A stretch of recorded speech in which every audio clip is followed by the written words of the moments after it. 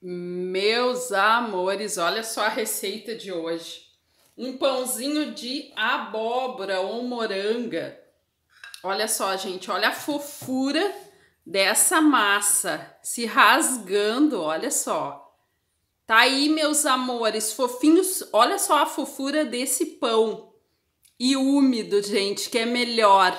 Olha que massa maravilhosa. Tá aí, vamos fazer este pão gostoso? Bora lá então para a receita.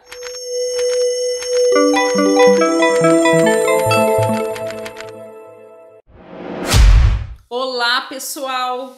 Hoje vamos fazer mais um pão saboroso, fácil de fazer. E o nosso pão de hoje vai ser, ó, com abóbora, né? Cabotiá. Tem gente que chama de moranga, outros chamam de abóbora.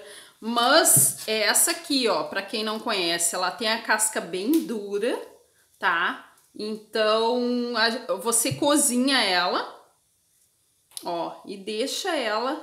Aqui eu tô usando, né, uma xícara de 250 gramas.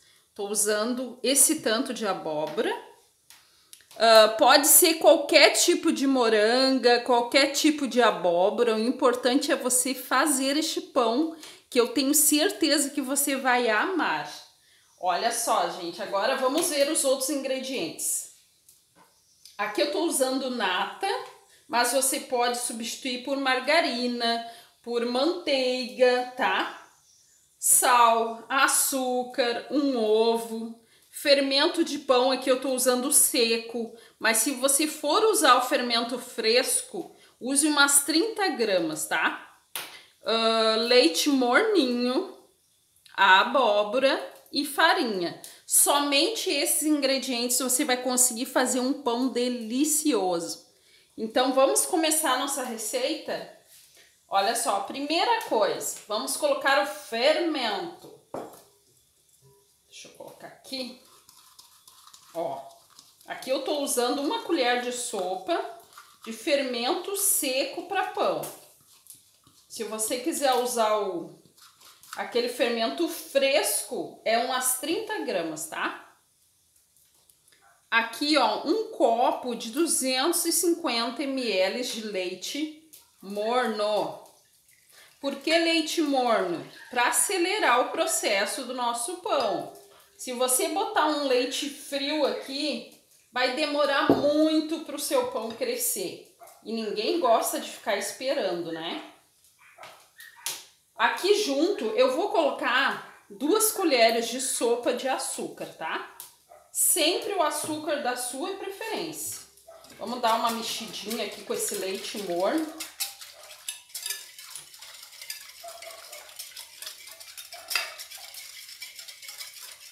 Para que ele já vá, né, fazendo efeito esse fermento.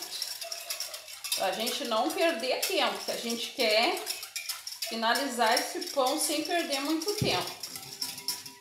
Agora aqui, gente, eu vou colocar um ovo, tá?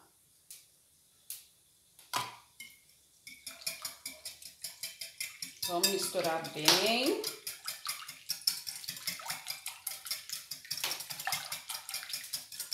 Depois eu vou deixar os ingredientes todos aí direitinho na descrição para você. Vamos colocar uma colherzinha de sal cheia, ó. Colher de café.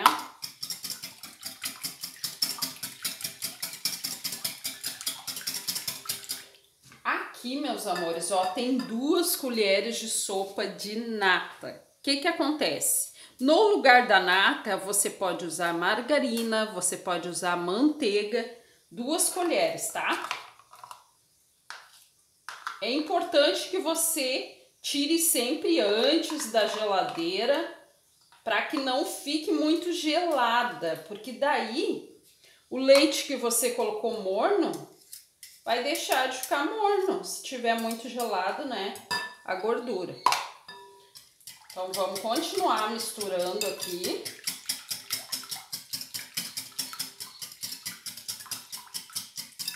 Agora que a gente já colocou todos os ingredientes, Vamos colocar, né, a nossa abóbora.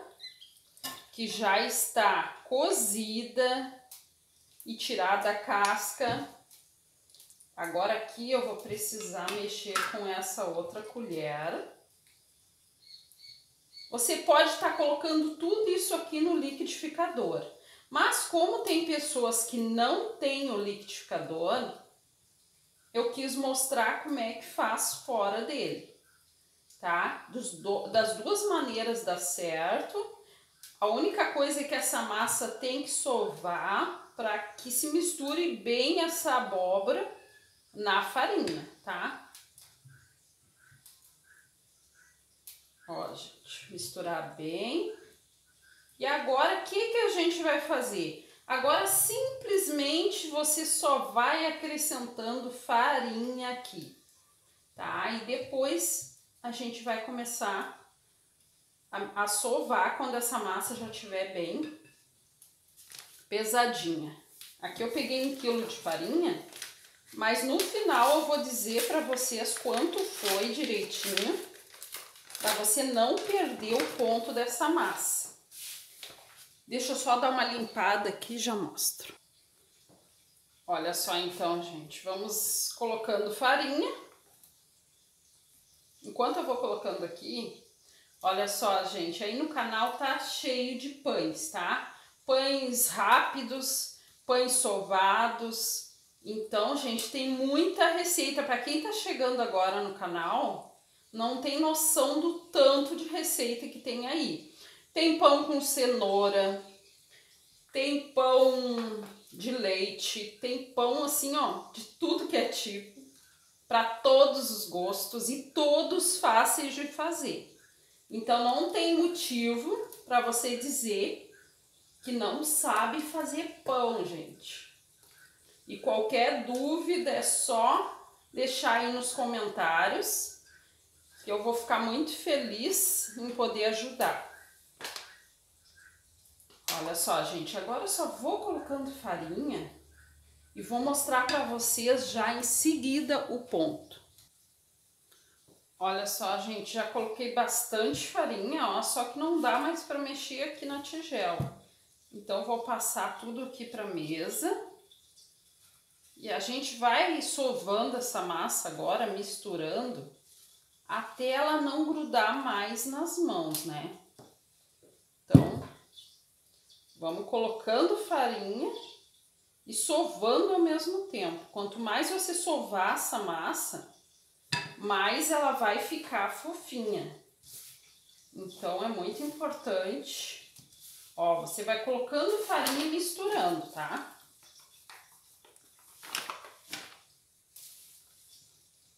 Colocando farinha e misturando.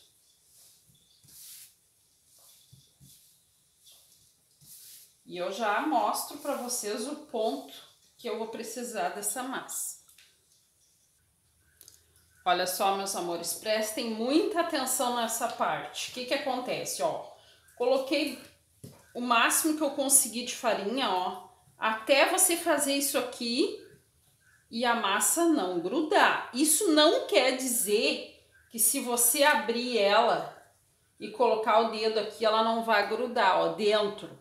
Mas por fora, quando ela parar de grudar, ó, que você faça isso aqui por fora, não grudou, é esse o ponto da massa. Porque o que que acontece? Se eu esperar ela parar de grudar por dentro, vai muita farinha, a sua massa vai ficar pesada e o pão não vai ficar fofinho. Então você cuide este detalhe, tá? Se caso, quando você for modelar os pães, ela começar a grudar na sua mão, você vem aqui com um pouquinho de farinha e só coloca onde grudou, tá? Então tome muito cuidado porque tem pessoas que vai colocando farinha, vai colocando farinha, quando você vê a sua massa tá um, um pau de dura e o seu pão não vai prestar. Olha só, essa massa, olha só, você só aperta aqui, ó, tá leve. Você sente que ela, mal você encosta o dedo, ela já afunda, ó. Então ela tá fofinha. É assim que eu preciso dela, tá? Então tem que tomar esse cuidado, ó. Uma massa super fofinha, faz toda a diferença no resultado do pão. Olha só, aqui sobrou 150 gramas de farinha. Foi o que eu usei para esse pão. Só que a minha moranga tava bem úmida. Se a sua moranga tiver mais seca no cozinhar que a minha, porque eu deixei a minha cozinhar demais, uh, vai menos leite ou vai menos farinha, tá? Então, se a sua moranga ficar mais enxuta que a minha, você vai notar que vai menos farinha aqui. Então, é esse o ponto mais ou menos. Olha só, tá super fofinha. É assim que eu preciso dela. Agora eu vou pegar a forma para me modelar e já mostro para vocês. Olha só, gente, aqui Tô fazendo umas bolinhas, então vem, ó, pega um pedaço de massa, tá? O tamanho que você quiser a bolinha. Posso pegar um pouquinho de farinha, porque, ó, pode notar que ela começou a grudar um pouquinho. Ó, o mínimo sempre de farinha. Aí você vem, faz a bolinha do jeito que você quiser e coloca aqui na forma. Deixa um espaço ó, entre elas, porque elas vão crescer ainda tá? Então eu vou fazendo aqui as minhas bolinhas de pão e já mostro para vocês. Olha só, gente, já fiz aqui os meus pãezinhos, tá? E aqui eu peguei um pedaço da massa que sobrou e coloquei nessa forma aqui também para fazer outro pão aqui. Então, meus amores, agora eu vou levar para crescer até dobrar de volume quando ele crescer, que eu notei que ele dobrou de volume, eu passo uma gema por cima, pincelo e já levo para assar. Meus amores, olha a situação desses pães, olha que coisa mais linda. Levou em torno de 30 minutos no forno, 180 graus. Olha só, gente, como ficou esses pães de abóbora. Olha que show, como cresceram. Esses aqui também, ó. Deixa eu pegar um aqui para vocês verem. Super fofinhos. Olha só, gente. Olha a situação dessa massa.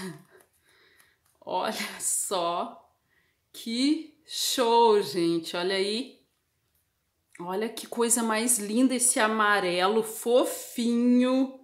Lindo, lindo, gente. Imagina comer um pãozinho com abóbora que é cheia de vitaminas. Tá aí uma dica para quem tá fazendo as receitas do canal para vender pãozinho de abóbora. Vamos cortar esse aqui, ó, que eu tô muito curiosa para ver como tá esse aqui por dentro. Olha só, gente. Olha a situação dessa massa, meus amores. Olha isso. Olha se rasgando. Gente, é tudo de bom pãozinho de abóbora. Meus amores, tá aí a dica de hoje, tá? Façam aí só não se esqueçam de, antes de botar para assar, tem que deixar crescer, senão o seu pão não vai ficar fofinho e gostoso, tá, meus amores? Beijo no coração e tchau, gente!